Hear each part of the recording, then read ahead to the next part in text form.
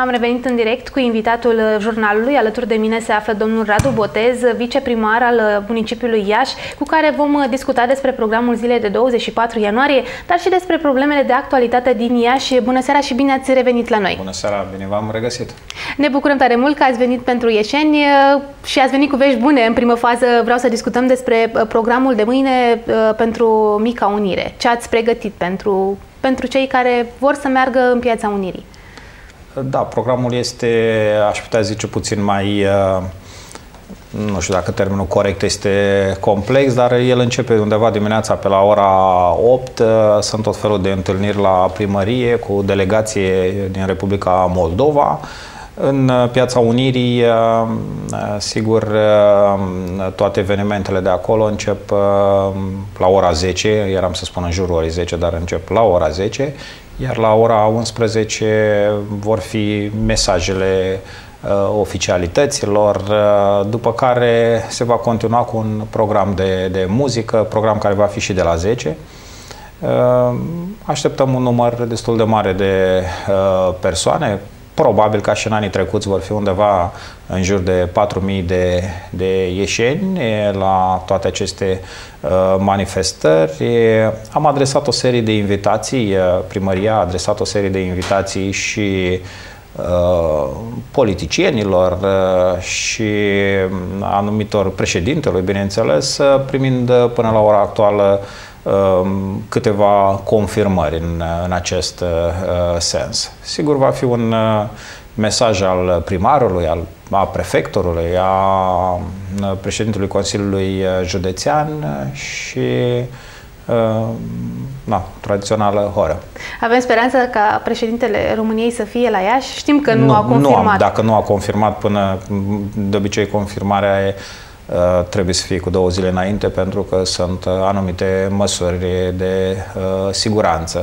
Am înțeles că au confirmat fostul președinte PSD Victor Ponta, de asemenea domnul Daniel Constantin, fost președinte la, sau, la Partidul... Agriculturii. Da, și Ministrul Agriculturii.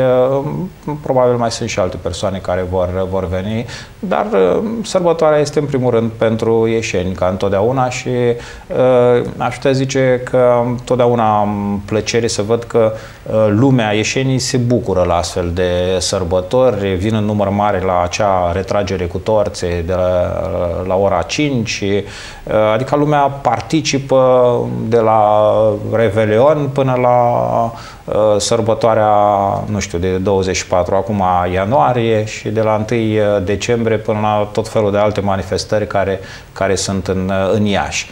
Uh, ați văzut că deja s-au pus lucrurile în, cumva în rulaj și în ceea ce privește Uh, festivalul de muzică din luna iunie. Uh, sperăm într-o într-o creștere exponențială, chiar dacă primul an a fost un succes neașteptat și pentru organizatori și sigur lună de lună avem tot felul de manifestări pentru, pentru ieșeni.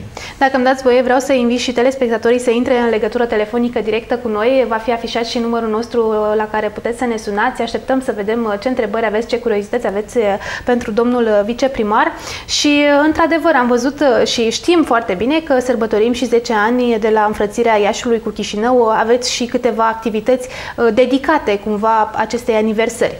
Uh, da, sunt, uh, cum am mai spus, vine o delegație de la, de la Chișinău, uh, probabil cel puțin este anunțată actuala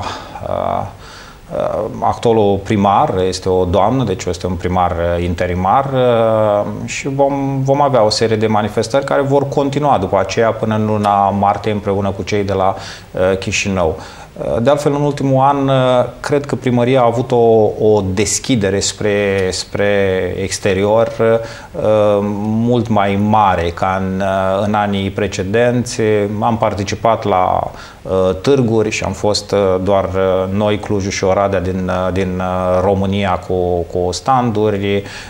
Am reușit o înfrățire cu un oraș care aș putea spune că este net peste Iași din multe puncte de vedere și anume Sevilla.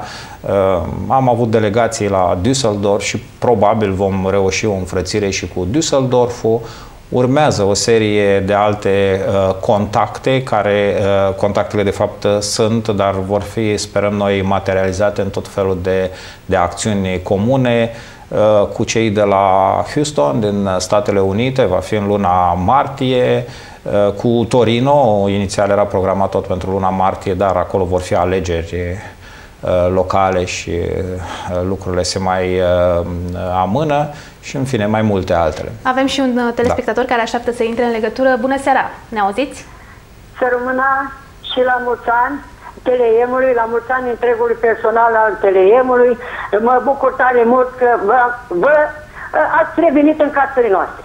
Uh, la mulți ani și, și bun, și nouă și domnilor din primărie și domnul viceprimar, bine a venit în, în emisiune, așa, să intru un subiect. Așa. Pe scurt, că timpul este numele... foarte limitat, da? Foarte scurt. Da, imediat, imediat, imediat.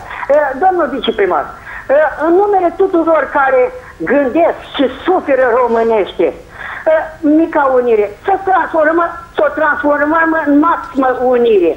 Uni, reîntregirea României cu, cu tot cu Basarabia. Sunt documente oficiale de ton și juridice și istorice. Dacă e, e voință, se poate. Au suferit săracii de spui, au mai suferit de 30 ani după, după Revoluție. Deci se putea în, în primul an, de măcar în al 13 aceast. Deci anul ăsta să marcăm. Se putea marca și cu autostrada, măcar pe jumătate făcută. A, a, dacă, dacă era voință, se putea. Doar nu aducea nimeni bani de acasă. Cu banii noștri ai tuturor.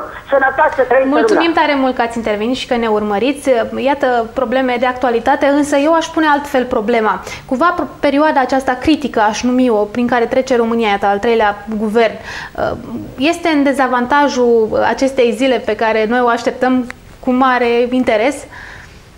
Nu, nu, sigur. Noi la Iași considerăm că anul 2017 a fost un an pozitiv. Am, cred că am realizat o parte, bineînțeles, din lucrurile care ne-am uh, propus, atât uh, parte de infrastructură, asfaltări ale unor străzi importante, reabilitări de școli, grădinițe, uh, sigur, cumpărarea de, de autobuze. Suntem singurul, auto, singurul oraș din țară cu aproape întregul parc auto nou. Va urma un an cu reabilitarea liniilor de tramvai, achiziționarea și de tramvai, refacerea terenurilor de uh, sport. Știți că sunt 17 proiecte în acest sens. Va fi un an în care sper eu vom începe, deci nu numai proiectarea, uh, vom începe chiar construcția unor pasarele în podul roș care vor fluidiza circulația. Vom continua asfaltarea malului drept a Bahluiului până la ultimul pod, podul uh, Sfântul Ioan.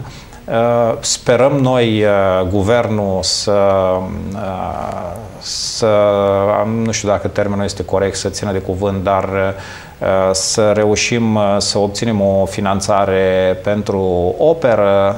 Știți că au fost unele discuții în acest sens la sfârșitul săptămânii trecute și aici nu neapărat că este în partid cu mine, dar trebuie să-i mulțumesc în primul rând Uh, actualului deputat uh, Varjan Vosganian, care s-a ocupat uh, personal de acest lucru și avem promisiunea că va, va fi finanțată o clădire a operei. Iașul, considerăm noi, are nevoie de patru edificii importante la ora actuală și noi sperăm ca toate aceste patru să reușim în acest an să le proiectăm pentru operă probabil vom obține această uh, finanțare. Celelalte sunt uh, filarmonica, o sală de conferințe, congrese de o mie de locuri. Cer foarte mult universitățile o astfel de, de sală uh, sunt și dispuse chiar să financeze, numai să existe și sigur o sală de sport. Toate acestea sperăm să le pornim în acest, în acest uh, an. De asemenea, sunt programe importante de reabilitare a școlilor și a grădiniților, a celor aproximativ 100 de locuri de uh, joacă. Deci există motivație de a uh, încerca să facem uh, ziua de mâine mai bună ca pe cea pe care o trăim uh, astăzi. Deci, cumva, aveți foarte multe priorități pentru 2018, încă, iată, ați început anul uh, cu dreptul să zic așa, cu plină de zepezire, cu treabă, cu toată lumea pusă să facă câte ceva. Da, ați văzut că la dezăpezire a funcționat destul de bine. Bineînțeles, aproape ca de obicei, arterele principale și cele secundare, mai puțin cele din cartiere, pentru că nici nu avem utilaje de o anumită, multe utilaje de o anumită dimensiune ca să poată intra pe aleile din cartiere și sigur există veșnica uh, problema mașinilor uh, parcate care mai ales uh, iarna când, când este zăpadă constituie un, un obstacol important. De aceea o prioritate, n-aș putea spune neapărat o prioritate, pentru că toate reprezintă priorități pentru oraș, dar un alt element important este acela al uh, sistematizării cumva conceptului de, de a parca în, în oraș. Avem un proiect mai multe parcări supra și subterane, dar sigur și un, un program în ceea ce privește modul în care cineva va putea parca pe teritoriul orașului, modul în care se va plăti această parcare, pentru că încetul, încetul trebuie să, să ajungem la, Uh, modul în care fiecare să trebuiască să plătească în momentul în care nu parchează pe proprietate. Totodată știm că în, aceste, în această perioadă veți organiza o dezbatere pentru a adopta un nou regulament uh, în privința patrupedelor um, animalelor de companie, ale ieșenilor. Asta după ce uh, zilele trecute a fost un incident nu prea plăcut la Iași. Da, am avut această problemă în cursul anului 2017 și la începutul anului și în vară. Uh, noi am încercat să identificăm uh, uh, câinii care sigur au produs aceste probleme. La început toată lumea a dat vina pe câinii comunitari, dar în toate cazurile din, din acest an a fost vorba de, de câini care apărau o anumită proprietate, ori privată, ori o anumită proprietate juridică, ca o firmă. Deci câinii care stăteau în curtea cuiva și sigur își apărau uh, acel uh, teri- teritoriu. La fel și ultima dată acei câini care erau uh, dintr-o rasă periculoasă, mm, uh, sigur, iar ei își apăreau uh, proprietate. Deci aveau un stăpân bine definit. Noi, în primă fază, am urmărit în principal acest lucru și anume fiecare câine să aibă un stăpân prin chipul respectiv, să putem identifica și am încercat să vedem de unde vin câinii de pe teritoriul orașului. Am avut, sigur, și n-aș putea zice surpriză, dar am constatat că veneau și din zonele limitrofe orașului. Am constatat că sunt câini care au fost, că au, erau câini care au, au trecut pe la padoc uh, și pe care anumite persoane le-au, uh, i-au luat în, înapoi. Dar uh, cei mai periculoși sunt acei câini care apără ceva și nu câinii vagabonzi care oricum eu cred că vizibil sau, sau împuținat pe, pe străzi. Am văzut că una din reguli presupune uh, amenziile mai mari sau amenzi mult uh, diferite față de cele care erau până acum. Da, probabil va trebui să ajungem în multe domenii la regulile stricte existente în țările din vest, chiar dacă ne place, chiar dacă nu ne place. Uh, Uh, în vest, fiecare câine are un stăpân. Nu există uh, animal câine care să nu aibă uh, stăpân. Nu există pisică care să nu aibă stăpân. Fiecare animal are o asigurare obligatorie, asigurare care, sigur, prevede daune până la valori foarte mari și probabil într-un viitor va trebui și noi să, să ajungem la un astfel de nivel. Nu, nu pot spune că mi-aș dori neapărat să ajungem la rigiditatea, rigurozitatea din, din vest, pentru că am circulat foarte mult și în vestul Europei și pe alte continente și am rămas cu o neclaritate între Uh, modul de a trăi, în sensul în care nu am foarte clar dacă trăiește mai bine cel de la New York cu zgomot, poluare, mâncare proastă, dar care câștigă și cheltuie mai mulți bani, deci își permite mai repede un televizor să-l schimbe de la an la an și nu la 4-5 ani cum îl schimbă românul, sau trăiește mai bine cel de la Vatra Dorni sau Sovata, care are câteva găini în, în grădină, își aranjează pământul și îl lucrează, lucrurile cred că sunt foarte relative și cred că ar trebui să nu ne mai dorim chiar așa de mult an de an mașină nouă, televizor nou și să ne bucurăm să vedem elementele pozitive din viața noastră și nu elementele negative.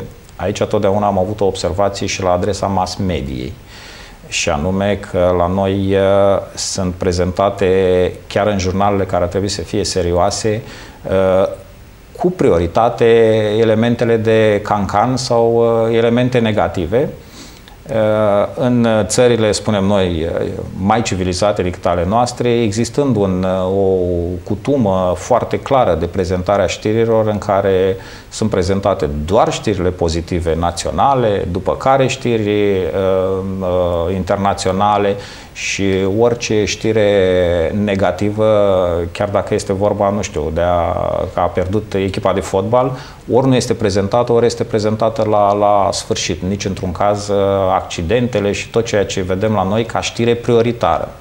Trebuie să ne învățăm să să vrem uh, lucruri pozitive și să mai renunțăm la, la partea aceasta negativă, care uh, în ultima vreme, nu știu de ce, și în anul 2017 a devenit uh, cumva prioritară în mass media. Și aici vă dau un exemplu. De câte ori a crescut euro în raport cu leu, deci s-a devalorizat leu, a apărut drept știre deosebit de importantă pe un, pe un canal media, un canal media destul de cunoscut și care non-stop favorizează anumite orașe din, din Ardeal. Orice fac cei de acolo e o chestie formidabilă, iar Moldova nu prea există. În momentul în care a crescut leu, a, a scăzut la loc euro, știrea nici nu, nu a apărut.